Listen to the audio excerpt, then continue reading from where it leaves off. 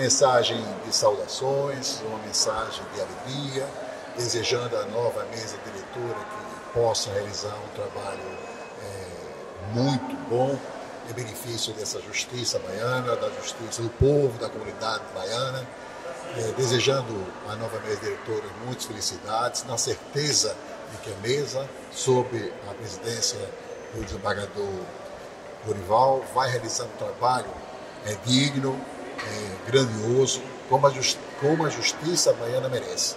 Essa justiça que é importante para todos nós.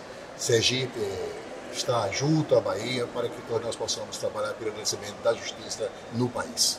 Que os dois possam receber o diamante no próximo Justiça em Números. Sim, isso é muito importante.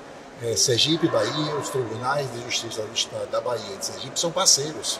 E nós trocamos experiências, experiências válidas, e isso em benefício da coletividade, em benefício da boa aplicação da justiça, e isso é importante para a comunidade brasileira.